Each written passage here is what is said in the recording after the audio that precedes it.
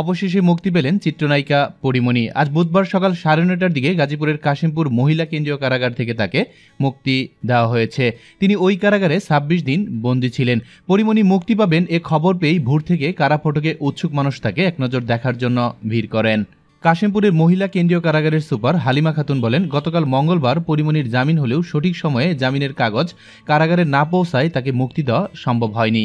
আজ সকালে তার জামিনের কাগজপত্র যাচাই বাছাই শেষে তাকে মুক্তি দেওয়া হয়েছে। মাদক মামলায় জামিন পাওয়া চিত্রনায়িকা পরিমণির মুক্তির অপেক্ষায় স্বজনরা আজ বুধবার সকাল থেকেই গাজীপুর কাশিমপুর কারাগারের সামনে অবস্থান করছিলেন। তখন পরিমণির আইনজীবী নীলাঞ্জনা রিফাত বলেন পরিমণিকে কারাগার থেকে নিতে তার খালু জসিমুদ্দিন সহ সাত আটজন স্বজন এসেছে।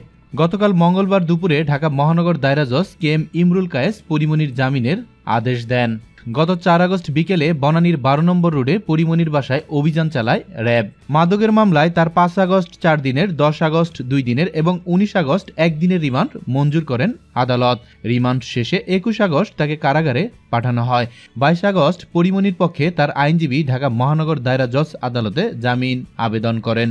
তবে জামিন শুনানির জন্য একুশ দিন পর দিন ধার্য করা ওই আদেশের চ্যালেঞ্জ করে হাইকোর্টে রিট করেন পরিমণি। পরিমণির জামিন আদেশের শুনানি একুশ দিন পর তেরোই সেপ্টেম্বর নির্ধারণ করে মহানগর দায়রা জজ আদালতের দেওয়া আদেশ কেন বাতিল ঘোষণা করা হবে না তা জানতে চেয়ে রুল দেন হাইকোর্ট। দর্শক, পরিমণির এই জামিন নিয়ে আপনার কি মন্তব্য? অবশ্যই নিচে কমেন্টস করে জানাতে ভুলবেন না।